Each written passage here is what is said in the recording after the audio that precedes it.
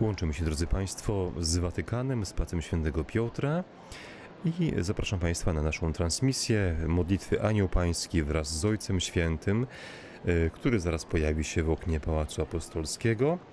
E, Już są zebrani na Placu Świętego Piotra pielgrzymi, oczekujący na modlitwę i na słowo, i na rozważanie. Ojciec Święty już jest w oknie mm, i za chwilę rozpocznie się modlitewne spotkanie. Oklaski nam potwierdzają, że pielgrzymi dostrzegli białą postać w oknie Pałacu Apostolskiego i rozpoczynamy naszą modlitwę. Drodzy bracia i siostry, dobrej niedzieli. Dziś Ewangelia mówi nam o Jezusie, który z całą prostotą oświadcza: Ja jestem chlebem żywym, który stąpił z nieba. Na oczach tłumu Syn Boży utożsamia się z najbardziej zwyczajnym i powszednim pokarmem, chlebem. Ja jestem chlebem. Wśród słuchających niektórzy zaczynają się sprzeczać. Jak Jezus może dać nam swoje własne ciało do jedzenia? My również zadajemy sobie dziś to pytanie, ale ze zdziwieniem i wdzięcznością. Oto dwie postawy, nad którymi warto się zastanowić. Zdziwienie i wdzięczność wobec cudu Eucharystii. Po pierwsze zdziwienie, ponieważ słowa Jezusa nas zaskakują.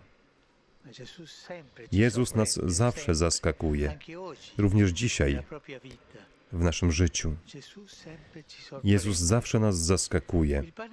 Chleb z nieba jest darem, który przekracza wszelkie oczekiwania. Kto nie pojmuje stylu Jezusa, pozostaje podejrzliwy. Wydaje się niemożliwe, a nawet nieludzkie, aby jeść ludzkie ciało E i pić jego krew. Ciało i krew są natomiast człowieczeństwem Zbawiciela, Jego własnym życiem ofiarowanym jako pokarm dla E nas. A to prowadzi nas do drugiej postawy, do wdzięczności. Najpierw zadziwienie, teraz wdzięczność, ponieważ rozpoznajemy Jezusa tam, gdzie jest obecny dla nas i z nami. Czyni się chlebem dla nas. Kto spożywa moje ciało, trwa we mnie, a ja w nim. Chrystus, prawdziwy człowiek, dobrze wie, że trzeba jeść, aby żyć, ale wie również, że to nie wystarczy. Po rozmnożeniu ziemskiego chleba przygotowuje jeszcze większy dar. On sam staje się prawdziwym pokarmem i prawdziwym napojem. Dziękujemy Ci, Panie Jezu.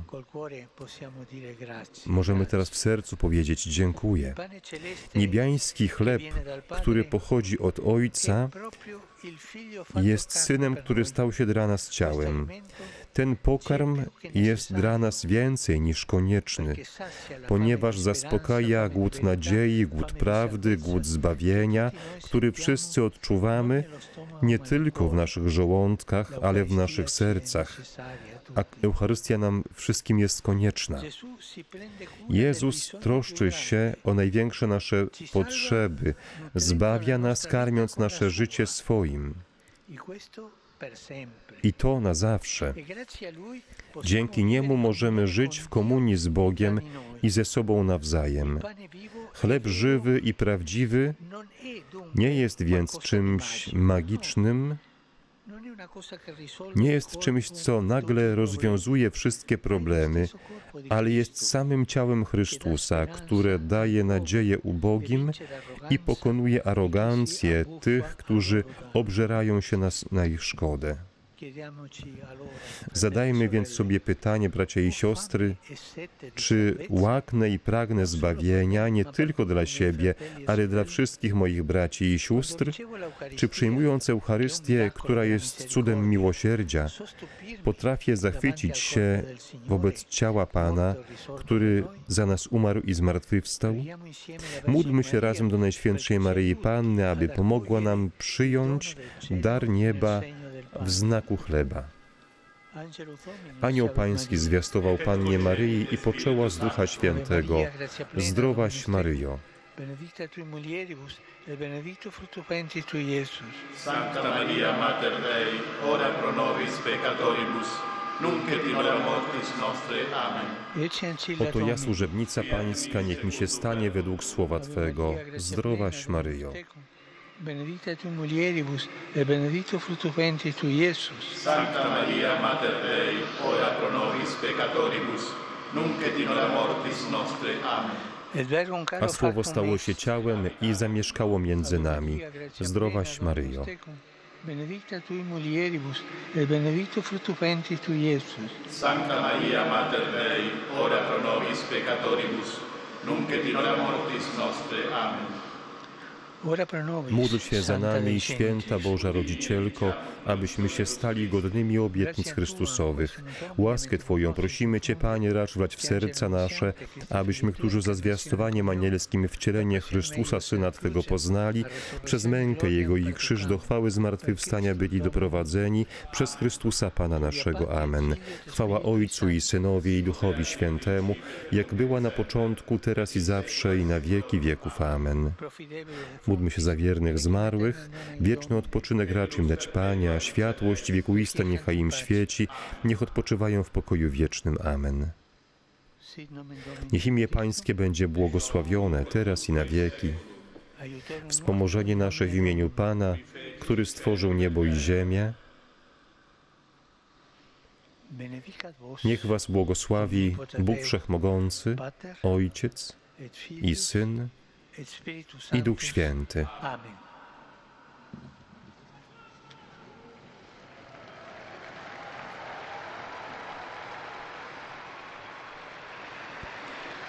E Drodzy bracia i siostry,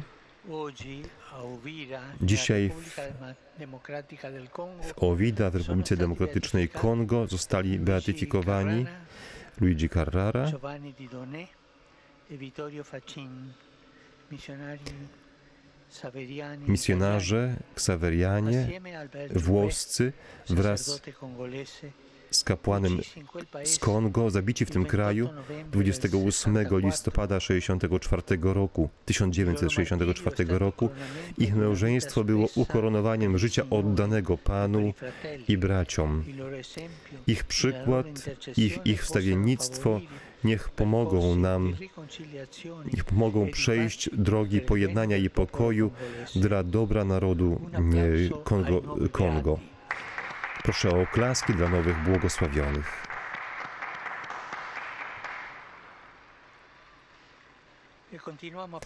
I nieustannie módlmy się, aby drogi pokojowe mogły otworzyć się na Bliskim Wschodzie, w Palestynie, w Izraelu, jak również dla umęczonej Ukrainy, dla Birmy i który jest na progu wojny. Za, proszę o zaangażowanie dialogu, negocjacji i o powstrzymanie się od y, działań nacechowanych przemocą. Pozdrawiam Was wszystkich wierni z Rzymu i pielgrzymi przybyli z Włoch i z różnych krajów. Szczególnie pozdrawiam pielgrzymów przybyłych ze stanu São Paulo z Brazylii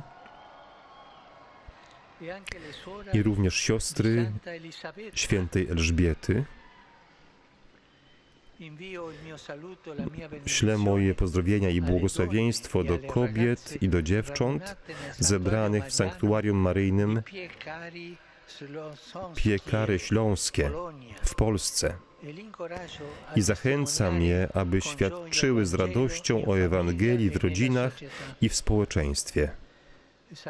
Pozdrawiam młodzież Matki Bożej Niepokalanej.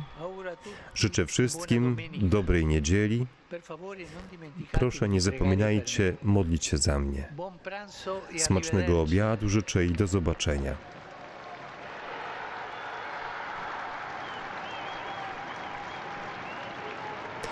I tak oto dobiegła końca dzisiejsza modlitwa Anioł Pański z Ojcem Świętym.